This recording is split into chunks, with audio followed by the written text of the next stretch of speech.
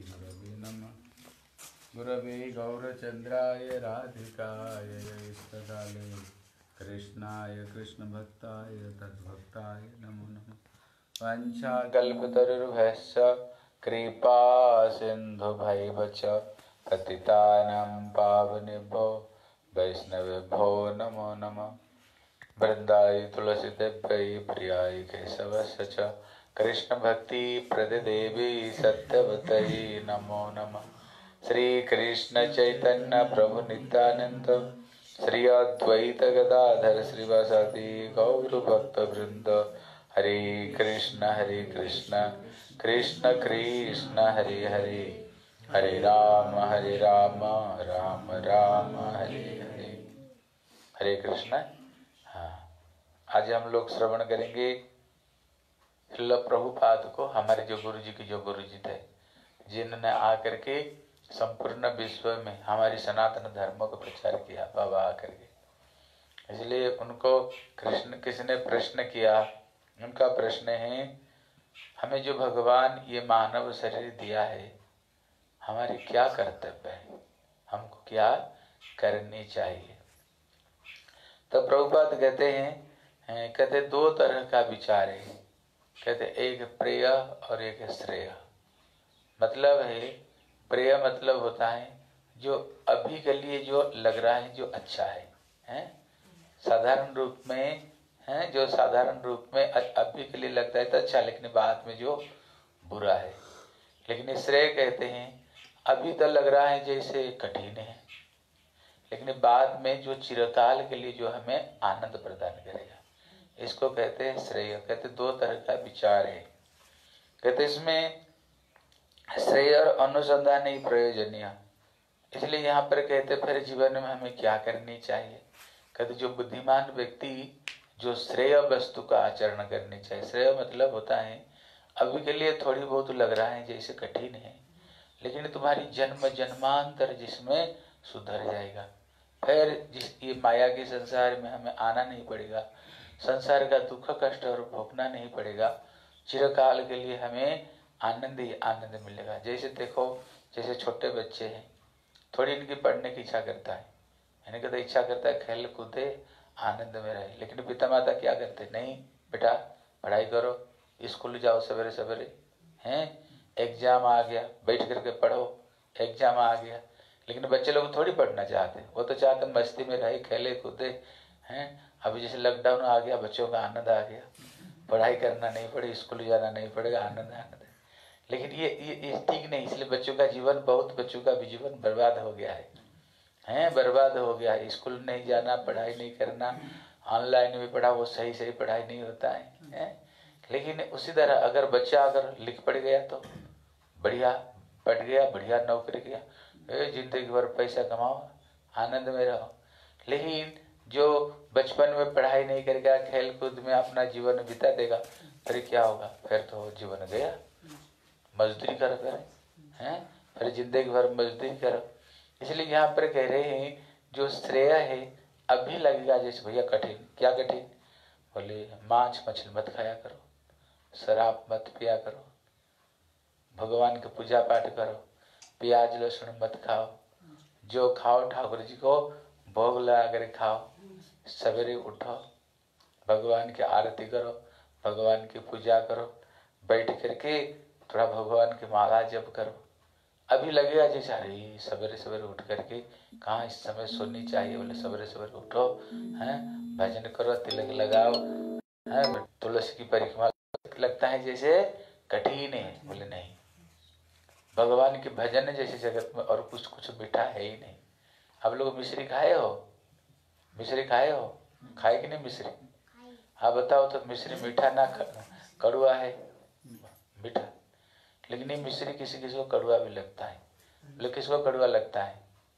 बोले, जिसको जन्डिस का बीमारी हो जाए, जिसको पीलिया बीमारी हो जाए ना, अब देखना जो कुछ खाए, मिश्री भी खाए, उसको कड़वी लगेगी। लेकिन वो कड़वी नहीं, वो मीठा है। इसलिए पहले इतना कोई मेडिसिन नहीं होता था। डॉक्टर बोलते थे कि बेटा तुम ये मिश्री चूसना लेकिन मिश्री तो मीठा है, लेकिन तुमको मीठा नहीं लगेगी, अभी तुमको कड़वी लगेगी। लेकिन मिश्री फेंकना नहीं, उसको चूसते रहना। अभी इसको चूसते चूसते चूसते चूसते जब तुम्हारी कड़ुआपन पीलिया की बीमारी सही हो जाएगी, फिर मिश्री मीठा लगने लग जाएगा।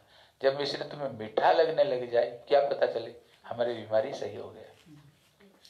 उसी तरह जो भगवान का नाम है, वो सबसे मीठा है। इससे मीठा दुनिया में कुछ नहीं, है? दुनिया में कुछ भी इतना मीठा नहीं, भगवान का नाम में जितना मीठा। हनुमान को देखो, दिन रात चौबीस घंटा रघुपति राघव राजा राम पतित पावन सीताराम। वो चौबीस घंटा प्रभु का नाम जप करते हैं। हमारे संप्रदाय में संत हुए हरिदास ठाकुर दिन में तीन तीन लाख हरिनाम करते थे। तीन तीन मतलब रात में सोते नहीं थे। एक आधा घंटा कभी सो लिया तो सो लिया, नहीं तो सोना नहीं। छब्बीस घंटा प्रभु का नाम में मस्त रहते। थे क्यों कहते, कृष्ण नाम सुधा करिया पान जुड़ा हो भक्ति विनोद प्राण। कहते, भगवान का जो नाम है, ये अमृत है, ये सुधा है, हैं? लेकिन अभी हमको सुधा नहीं लग रहा है। अब तो हमें तो कड़ू लगता है, थोड़ा माला लेकर बैठे जब क्या आएगी। माला लेकर बैठो, सारा दुनिया के दिमाग में, सारा दुनिया की चिंता आने लग जाती है। इसलिए यहाँ पर कह रहे हैं इसलिए कहते श्रेय और अनुसंधान ही प्रयोजनीय। जीवन में हमें क्या अनुसंधान करनी चाहिए? श्रेय। मतलब भले ही अभी लगे थोड़ी सी कठिन है लेकिन जो चिरकाल के लिए आनंद आनंद हमें देने वाले हैं इसको ही हमें अनुसंधान करनी चाहिए। प्रिय अति सुलभ किंतु श्रेय सहज लभ्य नहीं। तो जो प्रिय है प्रिय मतलब होता है आपातकालीन अभी के लिए जो तुम्हें अच्छा लगता है। हैं?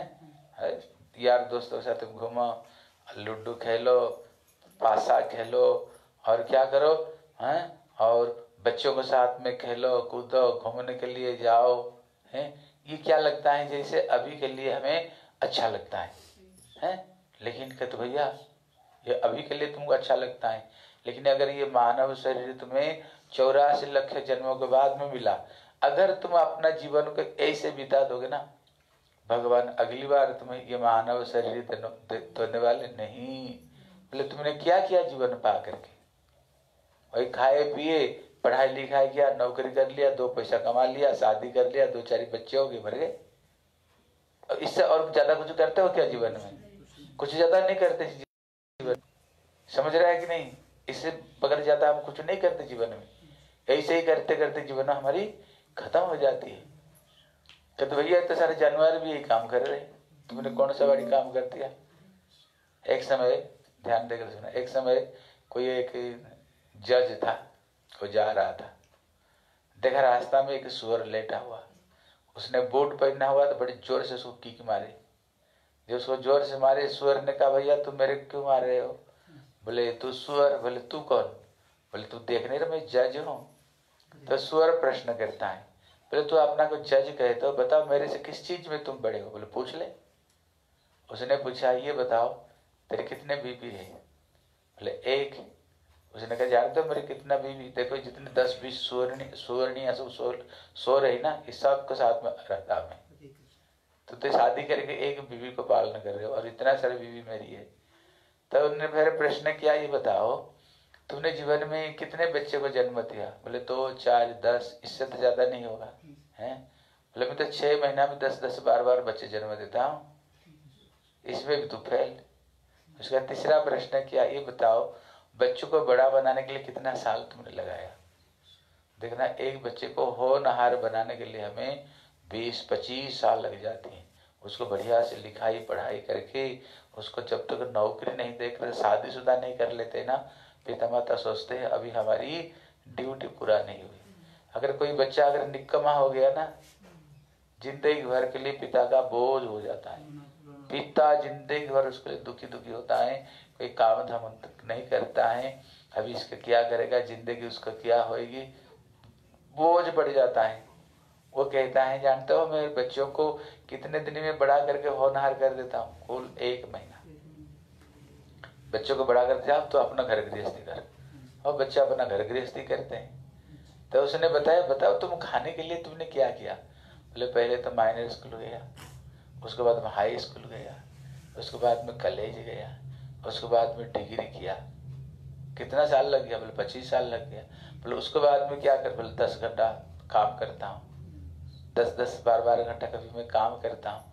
तभी पैसा कमा करके अपना परिवार परिवार को मैं मेंटेन करता हूँ।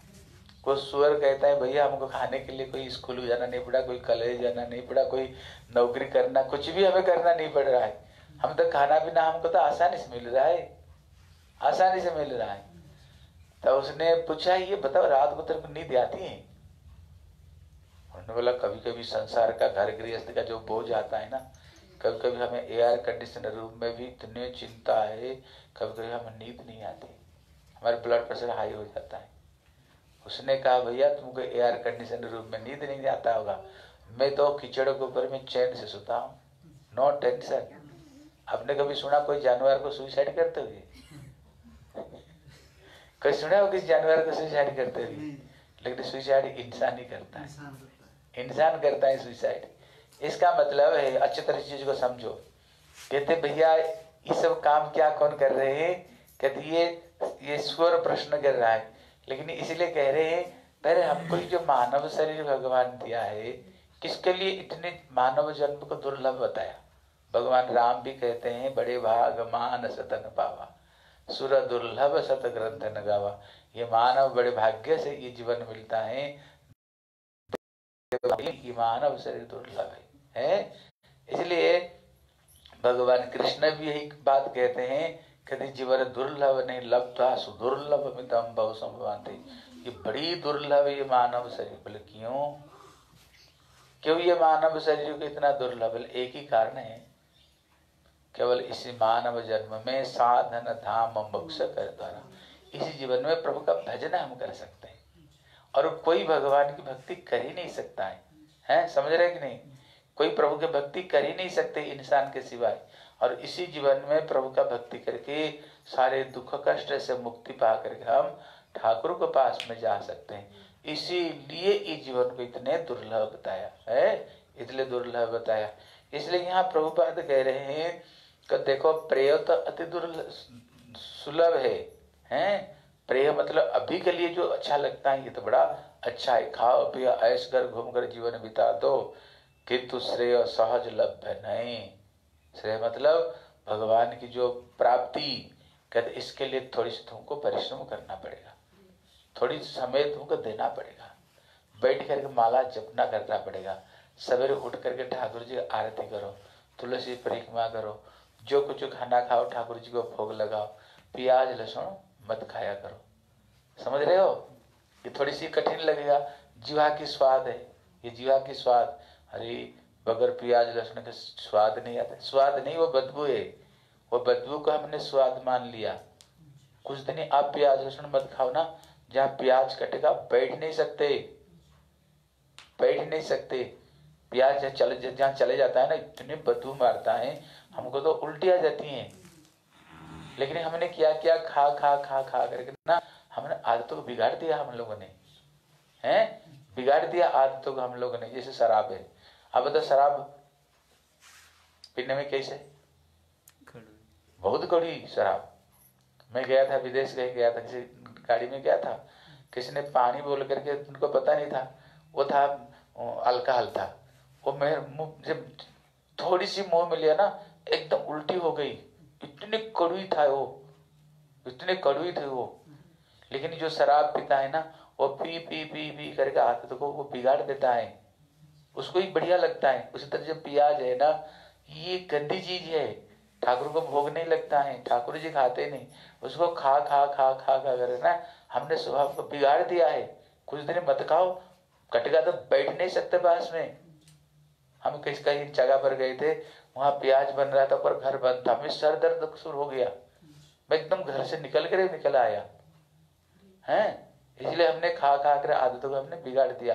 जो चीज़ ठाकुर को प्रिय नहीं हमें भी प्रिय नहीं होनी चाहिए। अभी नवरात्रि नवर कोई खाते नहीं नौ दिन तक?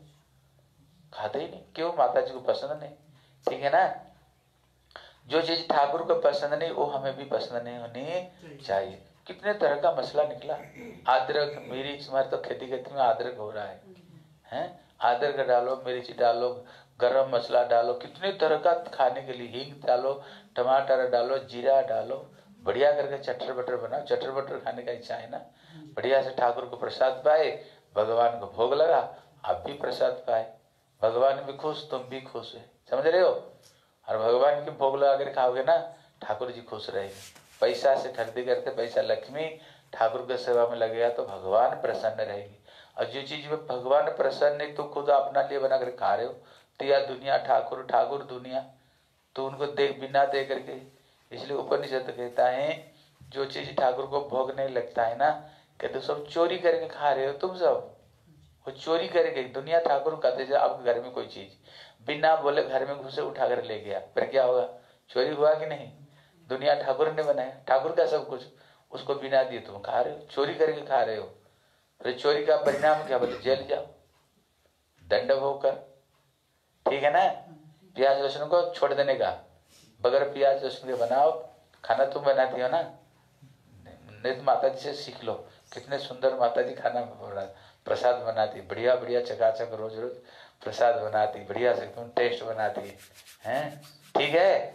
हाँ इतना चीज़ को छोड़ दो भगवान के लिए। एक तरफ़ पे भगवान को रखो, एक तरफ़ पे प्याज लहसुन को रखो। अभी चुनो, हमें प्याज लहसुन चाहिए ना, ठाकुर जी चाहिए। बोलो, क्या चाहिए? ठाकुर जी चाहिए ठाकुर चाहिए तो प्याज लहसुन हमें नहीं चाहिए, ठीक है ना? हाँ। इसलिए कहते श्रेय श्रेय, कहते श्रेय श्रेय आत्मा प्रेय अच्छे किंतु बहिर्मुख मानसिक प्रेय आत्मा श्रेय नहीं।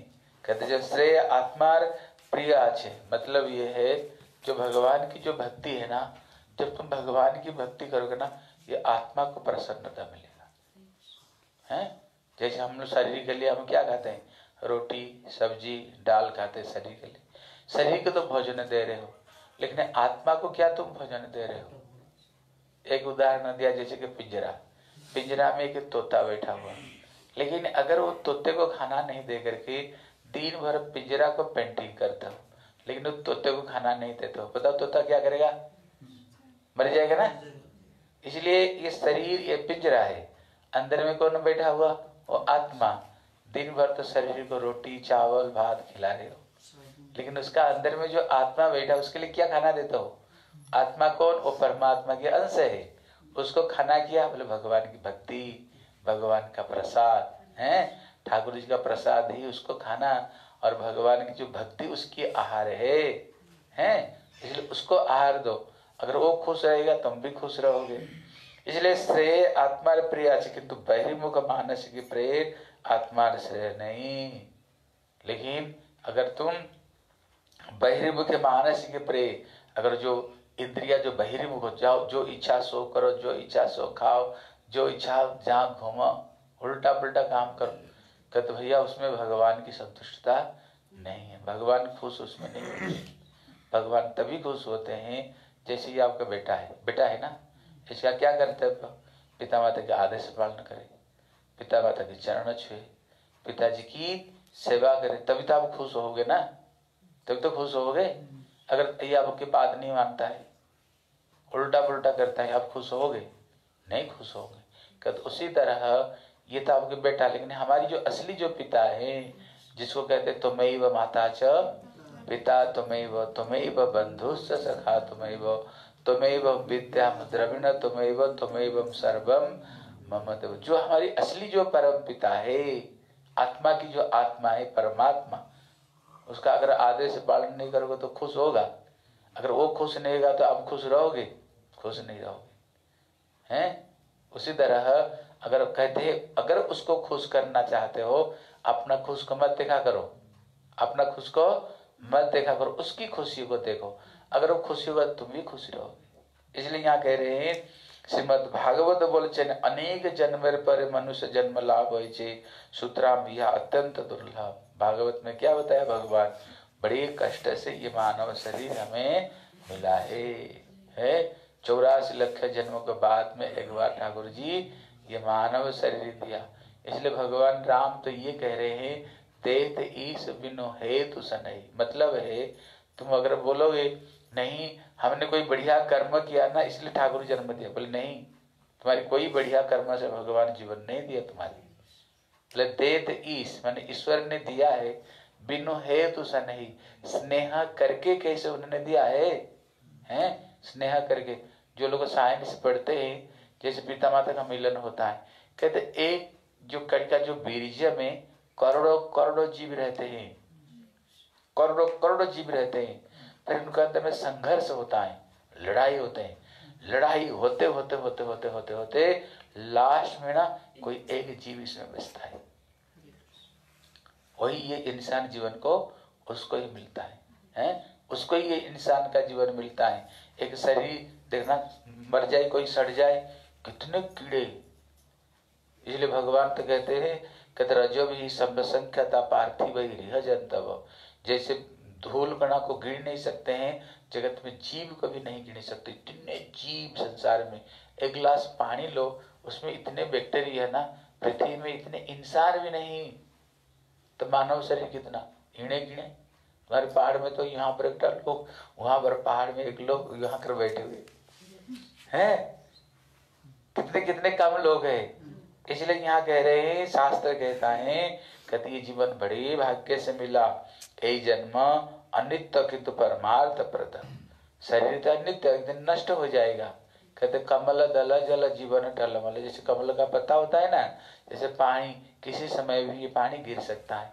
जैसे पानी में बुलबुला होता है, देखा ना जैसे पानी गिरता है ना, उसमें बुलबुला पटक, बुलबुला, झट बनता है, झट खत्म हो जाती है। कोरोना में कितना जो लोग चले गए, हैं? इसलिए यहाँ पर कह रहे हैं, किंतु ये अनित्य नष्ट होने वाले। लेकिन नष्ट होने वाले तो है, टाटी पेशाब खून का ये जरद शरीर तो है। लेकिन कह रहे, ये शरीर से तुम भगवान की भक्ति कर सकते हो। भगवान की भजन कर सकते इसलिए क्या करो, ये शरीर को रगड़ रगड़ करके जितने दूर हो सके ना, ये शरीर से भगवान की भजन कर लो। जीवन को नष्ट नहीं करके जितना हो सके शरीर को प्रभु की भजन में लगा दो। इसलिए स्वतंत्रता परित्याग पूर्वक शरणागत है, निष्कपट भजन कर ले, एक जन्म ही भगवत प्राप्ति होते पारे कहते आप एक जीवन में ही भगवान को पा सकते हो। जिनको पाने से तुम्हारी दुख, कष्ट, जन्म, मृत्यु सब खत्म हो जाएगी। पहले एक जीवन में कैसे पहले अपना स्वतंत्रता को परित्याग देनी चाहिए। अपना स्वतंत्रता समझ दो जो सोचेगी वही करेंगे, जो आएगा हम करेंगे, किसके हम बात क्यों सुनेंगे? किसी, नहीं, ये चीज़ को त्याग दो। स्वतंत्रता देकर क्या करो शरणागत हो। ठाकुर के चरण में, जैसे अर्जुन कहते, प्रभु, आपके चरण में हम शरणागत हो गए। जो आदेश करोगे, हम वही करेंगे आप जो बोले मैं वही करूँगा। तो भगवान ने उसको फिर उपदेश ठाकुर ने, उपदेश फिर ठाकुर ने दिया। इसलिए पहले हमें शरणागति होना पड़ेगा ठाकुर के चरण में। ठाकुर जी जो बोलेंगे, हमें वही करनी चाहिए। फिर ठाकुर जी क्या कहते हैं? ठाकुर क्या कहते हैं? ठाकुर हैं, सर्वधर्मान परितेज माम एकम शरण हे अर्जुन तू सारे धर्मों को छोड़कर मेरे शरण में आ जा। मन मना भव, ये मन और किसी को मत दो। मन केवल मुझे दो मत भक्त भव। तो और किसका भक्त मत बनो? मेरा ही भक्त बनो। माम जाजी, पूजा और किसको मत करो? पूजा केवल मेरे को करो।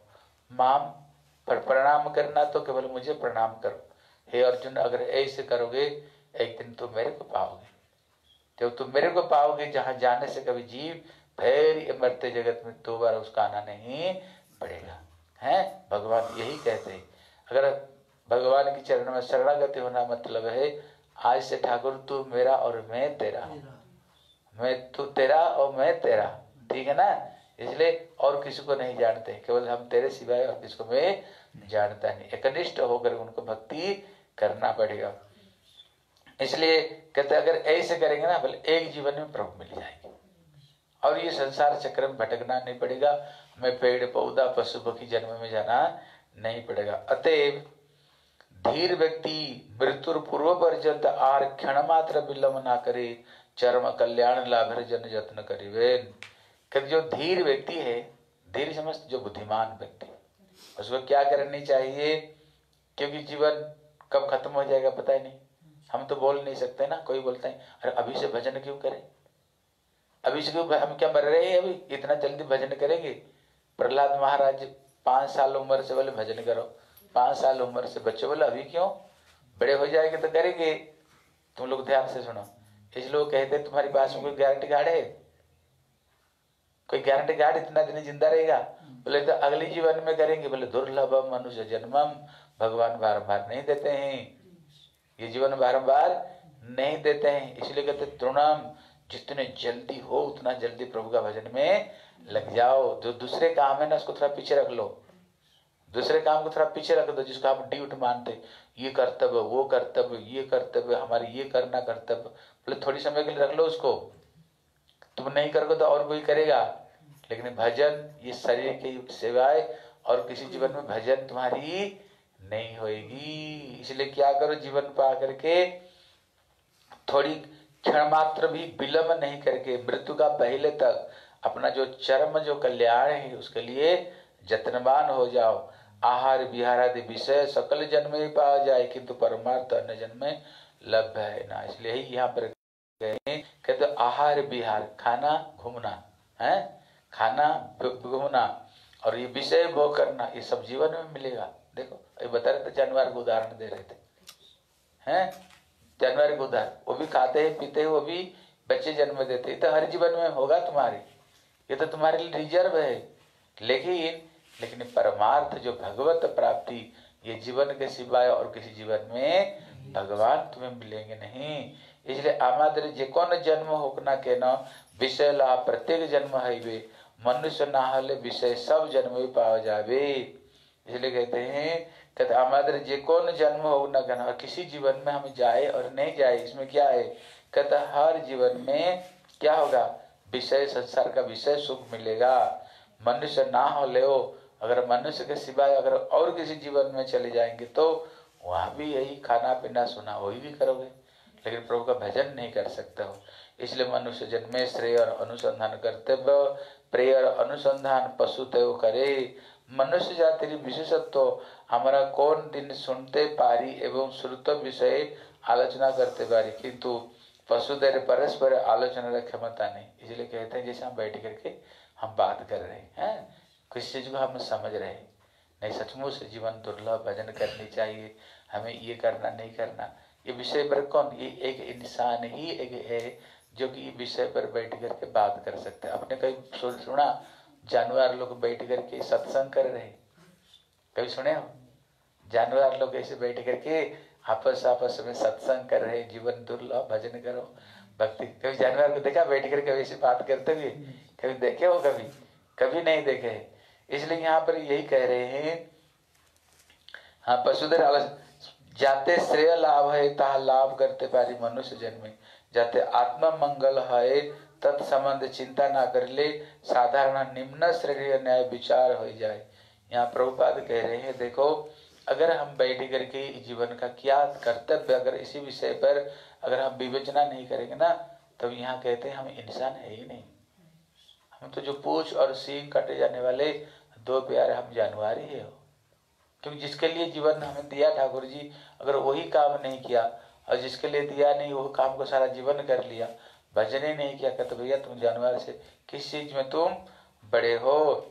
देव जन्म होले भगो उन्मत है या पड़े सद असद विचार चापा पड़े बड़े देखो, अगर कोई सोचते ना स्वर्ग चलो। बोलते ना, स्वर्ग चलो। वहाँ आनंद है।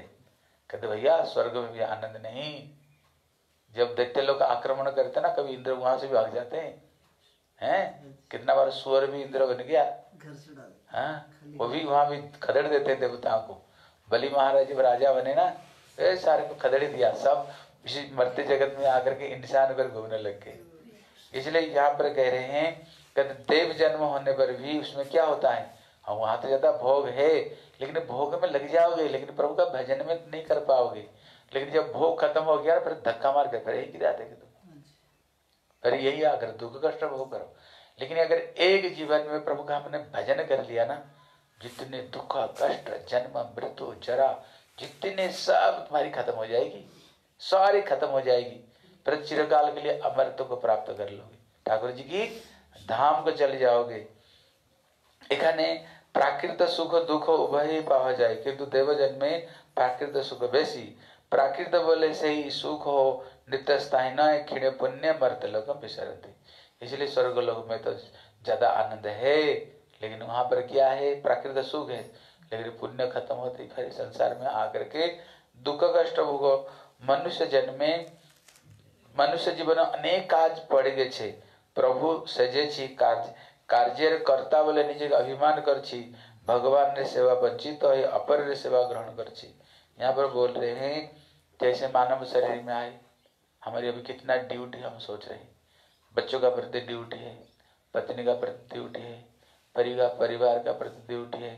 संसार कितने कितने हमारी सब ड्यूटी संसार में आकर के। यहाँ पर कह रहे हैं, लेकिन जब हम मातृ गर्भ से आए ना, जो माँ के पेट में उल्टा लटका हुए थे, टाटी पैसा थली में हम पड़े हुए थे, कीड़े काट रहे थे, माताएँ जब चटपट चीज़ खाती है, मिर्च मसला, वो भी बच्चे को शरीर में बहुत कष्ट होता है। हज़ार जन्म की बाद याद आता ठाकुर जी मैंने जिनके लिए किया था, वो सब कहाँ है? कहा है वो मेरी पत्नी? कहा मेरे बच्चे? कहा मेरे पति? यहाँ तो कोई नहीं। कर्म का फल तो मेरे को अकेला लेना पड़ रहा है। वो भगवान को पुकारता, ठाकुर जी, ये नरक से मेरे को निकालो। कहते, माँ के पेट अच्छा स्थान नहीं है। जैसे गट्टर है ना, जहाँ पर टाटी पेशाब अगर एक घंटा तुमको घुसा कर रख ले, कैसे लगेगा? कहते, माँ के पेट में हमने नौ महीना बिताए। कितना महीना बिताए वो गट्टर है पेट में इतनी गर्मी है ना, आज अगर रसगुल्ला खाओ ना, कल बिस्टा बन कर निकलता है। इतनी गर्मी पेट में। पाचन शक्ति है ना, गर्म है ना, अंदर में पेट में गर्म है। और पूरा लटका करके टाटी पेशाब में, यहाँ पर नौ महीना बिताइए इसे। एक घंटा रख दो तो आदमी मर जाएगा गटर में घुसा करके। लेकिन हमें इसे गटर में नौ महीना तक रहे। है, नौ महीना तक रहे। इसलिए यहाँ पर प्रभुपाद कहते हैं इसलिए कहते इसी से। लेकिन अभी भगवान से कसम खाए भगवान बोले, जन्म देखो तो क्या करोगे? वो कह रहे, मेरे को निकालो। भगवान बोले, क्या करोगे? बोले, मैं समझ गया, संसार में कोई नहीं, ये मतलब का संसार है। ये केवल स्वार्थ में ही संसार है और कुछ नहीं। एक दूसरे से मिलना है, इसलिए सब संबंध में जुड़े हुए मिलना बंद हो जाए, सब खत्म हो जाएगी। सारे परिवार सब खत्म हो जाती है। हैं? इसलिए मिलना बंद खत्म है। ये स्वार्थ का संसार है। उस समय में भगवान उस समय में भगवान को बोलते ठाकुर जी एक बार हमें ये मानव शरीर दे दो। मैं कसम खाता हूँ उड़ते बैठते सोते तेरे भजन करूँगा। कभी झूठा संसार में नहीं भगवान से वायदा करके आए और कोई काम नहीं करेंगे। क्यों? इस जीवन पाकर भजन करके तेरे को प्राप्त कर लेंगे। इसलिए कहते हैं लेकिन यहाँ आकर के जो का, जिस काम के लिए आया था ना उसको तो पीछे रख लिया। उसको पीछे रख दिया। जो वायदा करके आया था। और जो नहीं करने के लिए उसमें लग गए। किसको बोलो? भजन करो। बोले, समय का। इसलिए प्रभु बात बहुत कर्तव्य यहाँ पर आ गया। ये करना, सो करना। लेकिन मैया के पेट में क्या बोल कर गया था? भजन करोगे ना? यही तो बोल करके आया था ठाकुर जी को। लेकिन यहाँ पर भजन करने बोले, नहीं, ये काम, वो काम। भैया, तुम संसार में आए भजन के लिए? पहले जो जो काम के लिए आए तो जो करते तो करते लो। उसको तो करो। आप बोलोगे, हम तो घर गृहस्थी बीबी बच्चे। बोले भगवान नहीं बोलते छोड़ देने के लिए, भगवान नहीं बोलते हैं। जो कुछ करो, भगवान को सेंटर में रख कर। करो जैसे पैसा कमाते हो, लेकिन पैसा क्यों कमा रहे हो? बोले, पैसा लक्ष्मी ठाकुर की सेवा के लिए। बस हो गया भक्ति और क्या? रसोई बना तो क्यों? बोले, अपना खाने के लिए। बोले, ज़ीरो हो गया, बेकार। लेकिन रसोई क्यों बना रहे हो? बोले, ठाकुर को भोग लगेगा, हो गया कि नहीं? घर में झाड़ू लगाओ। बोले, कहाँ लगा रहे हो? बोले, अपना घर में, बस ज़ीरो। लेकिन नहीं, भगवान की मंदिर में झाड़ू लगा रहे बस ज़ीरो। भगवान थोड़ी छोड़ने के लिए कह रहे इसलिए हाथ में जो कुछ करो, ठाकुर को सेवा बना करे, करो। और मुँह में क्या करो, ठाकुर जी की नाम लो। ठाकुर जी की नाम लो और हाथ में काम करो। ठीक है ना? बस हो गया तुम्हारी। कोई चीज़ छोड़ने का ज़रूरत है ही नहीं। देखो, इनके घर में देखो। इन, इनके घर में देख लो। जो कुछ रसोई बनाते पहले ठाकुर का सेवा लगता है। सवेरे उठकर ठाकुर आरती करते, मंगला आरती करते, तुलसी परिक्रमा करते, पैसा भी कमाते, सब कुछ कमाते, लेकिन किसके लिए कर रहे ठाकुर जी के लिए। बस, केवल इतना ही करना और कुछ नहीं करना। लेकिन ये भावना कब आएगी? कहते, संतन के संग लागी रे तेरी अच्छी बनेगी। ये भावना हृदय में कौन डाल डालेंगे? ठीक है ना? इसलिए यहाँ पर कहते, विभिन्न वस्त्र प्रार्थी हो विभिन्न देवादेवी सेवा करती। धर्मर्जन्य सूर्य अर्थर्जन्य गणेश रे कामर्जन्य, शक्ति मोक्षर्जन्य शिविर। यहाँ पर कह रहे हैं ना, जो दूसरे दूसरे जो देवा देवी पूजा कर रहे हैं। बोले, क्यों पूजा कर रहे हो तो क्यों कर रहे हो? तीसरे तीसरे इसलिए यहाँ पर कह रहे हैं कहते ये देवा देवी पूजा करते धर्म के लिए सूर्य का अर्थ के लिए गणेश जी का पूजा पूजा करते हैं। काम के लिए शक्ति की मोक्ष के लिए शिव की अलग अलग अलग पूजा करते हैं हैं? हाँ, इसलिए पूजा हमारे वस्तु सब सर बरा बराह करवार सेवा के सेवक ही करे पहले छी। पूज्य के हमारे वस्तु कहते हम किस लिए सब पूजा करते हैं? दूसरों तो अपना काम इंद्रिय को तृप्ति के लिए है? भगवान को भी अपना नौकर बनाने के लिए चाह रहे नहीं बोले नहीं। बस क्या करो? जगत में अच्छे तरीके से तैतीस करोड़ देवता। कितना देवता हमारे? कितने इसको इसको छोड़ दो उसको बाहर खेले हाँ, इसलिए तैतीस करोड़ देवता है जगत में है कि नहीं? अभी कितने को मनाओगे देखो? एक को मनाओ दूसरे मुँह फुलाकर बैठ जाएगा। तीसरे को मनाओ चौथा मुँह फुलाकर बैठ जाएगा। तैतीस करोड़ देवता है ना, दिन में अगर एक करोड़ देवता को पूजा करोगे ना, तीस दिन में तीस करोड़ अभी तीन करोड़ बाकी रह गया कि नहीं? बाकी रह गया। फिर कितने को मनवाओगे हैं? इसलिए श्री सुखदेव गोस्वामी परीक्षित महाराज को बोल रहे थे, भैया, अर्थ पाने के लिए लक्ष्मी को और विद्या पाने के लिए सरस्वती को, सुंदर स्त्री बाल कर गंधर्व को पूजा करो, बढ़िया खाने के लिए आदित्य मैया को पूजा करो। उन अलग अलग देवता को नाम बोल रहे थे। तब परीक्षित महाराज ने पूछा ऐसे कोई देवता है जो एक को पूजा कर ये सब कुछ मिल जाएगा? बोला हाँ ऐसे भी एक देवता है। बोले उसका नाम बताओ ना। फिर इतने घुमा फिरा कर क्यों बता रहे हो? जो एक देवता का नाम बताओ जो एक को पूजा करने से सबके पूजा हो जाए और एक को पूजा करने से सब मिल जाए। बढ़िया घर दुकान मकान स्त्री पुत्र परिवार। बोलो वो देवता का नाम क्या? बोलो। तब दे ये कौन है? बोले अकाम सर्व काम बा मोक्ष काम उदार प्रेण भक्ति जोगे न जजेत पुरुष पर परीक्षित महाराज करे अकाम। अगर निष्काम होकर के सर्व काम हमें सब कुछ चाहिए संसार का। मोक्ष काम संसार से मुक्ति चाहिए। किसको पूजा करनी चाहिए बोले भगवान कृष्ण को पूजा करो। तो सब कुछ मिल जाएगा। सब कुछ मिल जाएगा। धन दौलत पुत्र परिवार स्त्री सब कुछ मिल जाएगा कृष्ण भक्ति करने से। तैतीस करोड़ तो बताओ कितने पूजा करोगे बताओ? इसलिए उन्होंने उदाहरण, दो उदाहरण दिया है। जैसे पेड़ का जड़ में पानी दे दो ना, आपको कहीं पानी देने का ज़रूरत नहीं। पेड़ जड़, पूरा पेड़ हरा भरा रहेगा। जैसे मुँह में आहार दे दो, खाना दे दो फिर तुम्हारा आँखों में, कानों में कुछ देने का ज़रूरत नहीं। पूरा इंद्रिय तुम्हारी सही रहेगा। इसलिए कहते हैं भगवान, अर्जुन को विराट रूप दिखाए ना, विराट रूप दिखाए। बोले, अर्जुन, देख मैं कौन हूँ? जिसको तो सीम कहते हो, जो सीम मेरे में अच्छे तरह समझो इस चीज़ को। जिसको तुम देवी कहे तो देखो देवी मेरे में। जिसको तुम गणेश कहे तो देखो गणेश मेरे में। जिसको तुम इंद्र, चंद्र, हनुमान कहते देखो मेरे जब भगवान के अंदर में सब कुछ है, जब कृष्ण को प्रणाम किया तो क्या हो गया? सबको प्रणाम हो गया। हो गया कि नहीं सबको? पर तुमको अलग अलग अलग करने का ज़रूरत है नहीं। इसलिए कृष्ण गीता में कहते हैं कामस्त हृदय ज्ञान प्रपदंत अन्य देवता। जो दूसरे दूसरे देवता देवी को पास में जाता मूर्ख है। कदो मूर्ख है? हैं? कद दूसरे दूसरे कामना के लिए दूसरे दूसरे पास में भटकते हैं।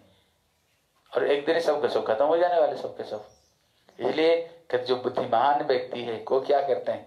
कृष्ण को छोड़कर और इधर उधर नहीं जाते। क्योंकि उसको चरण में प्रणाम किया तो उसका अंदर में सारा दुनिया है तो सबका तो प्रणाम हो गया तुम्हारे। तो फिर अलग अलग अलग अलग क्यों पूजा करते हो? कितने को मनाओगे?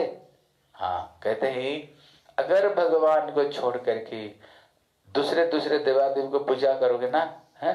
दूसरे दूसरे पूजा करोगे इसमें क्या होगा?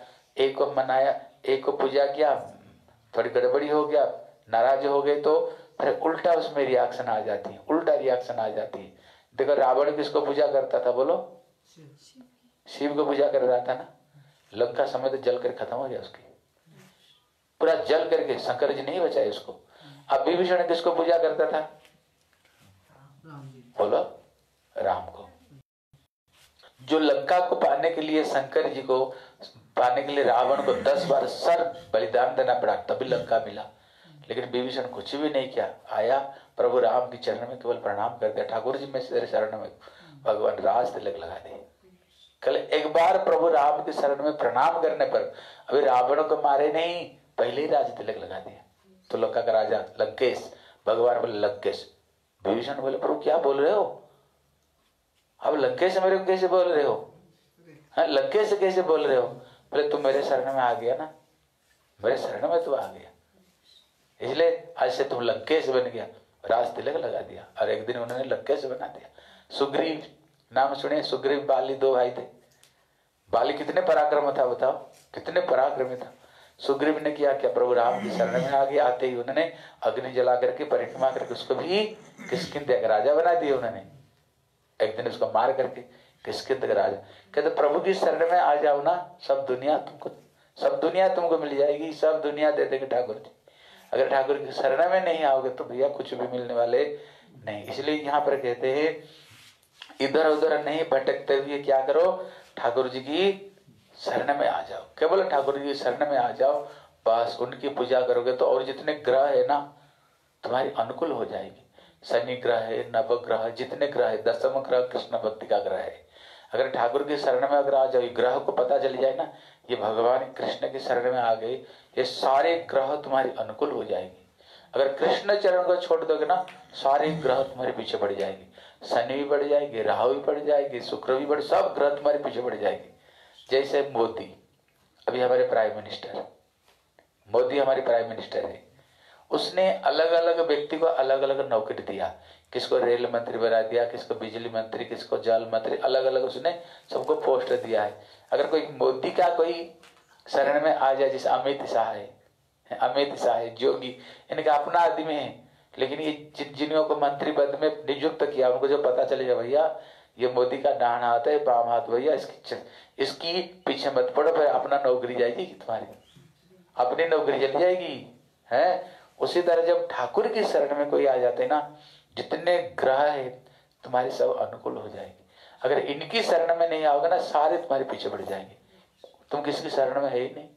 इसलिए ऐसे एक व्यक्ति की शरण में लो, जिसकी शरण में जाने से सबका शरण हो जाता है। वो केवल भगवान श्री कृष्ण है। ठीक है ना? इसलिए मेरे तो गिरिधर गोपाला, दूसरा न कोई। बस कृष्ण भक्ति करो। दूसरों को सम्मान दो, किसको असम्मान नहीं करनी चाहिए। सबको प्रणाम करो, उनसे भक्ति मांगो। लेकिन अपना हृदय में है ना, केवल भगवान कृष्ण को, अपना हृदय में कृष्ण को बैठा हो जैसे तुम घर में शादी होकर आई हो, तुम्हारी जेठ भी होगा ननंद भी होंगे ससुर भी होंगे सबको सम्मान देती कि नहीं? सबको सम्मान देती हो। लेकिन हृदय में तुम किसको बैठा कर रखी हो? दिल में किसको बैठा हो? अपना पति को। अपना पति का सिवाय हृदय में और किसकी ऊपर से सबको सेवा करते हैं। लेकिन हृदय में है ना, अपना पति के सिवाय और किसी को हम स्थान नहीं देते हैं। अगर किसको साथ में कुछ लड़ाई झगड़ा हुआ तो किसको लेकर अलग हो जाते हो? किसको लेकर जा देते हो? पति को। पति को ना, उसी तरह हृदय में केवल कन्या को स्थान दो और किसी को हृदय में स्थान नहीं देनी चाहिए। ठीक है ना? इसलिए यहाँ पर प्रभुपाद बहुत कुछ बोल बोल रहे हैं। इसलिए भगवान की भजन करो, जीवन दुर्लभ है, समय को बर्बाद नहीं करनी चाहिए। ठीक है? कल भूत कृपा सिद्ध च पतितानंग पावनेभ्यो भो नमो। नमः नम नम